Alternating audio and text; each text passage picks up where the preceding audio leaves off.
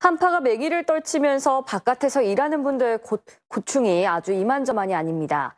전현우 기자가 돌아봤더니 저마다의 방법으로 한파를 이겨내며 묵묵히 자신의 일을 해나가고 있었습니다. 봄철 수확을 앞두고 꽁꽁언 미나리 논을 삽으로 깨는 작업이 한창입니다.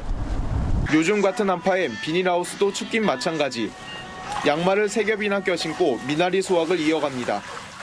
작업자들도 상당히 춥고 발이 시렸고 또 손도 시렸기 때문에 그런 환경이 좀 압조건하기 때문에 작업하기 상당히 힘듭니다.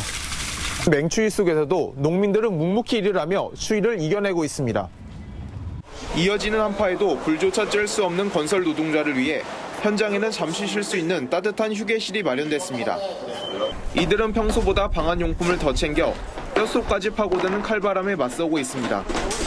일주일 전만 해도 불과 영하 2, 3도 있었는데 춥다 보니까 거의 다 이것을 이것을 하고 그 다음에 좀 두르고 해야 그나마도 추위를 견딜, 견딜 수가 있죠.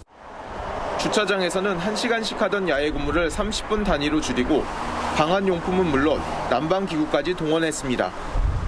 기존 근무 시간보다 30분 단위로 근무 시간을 축소를 했고요.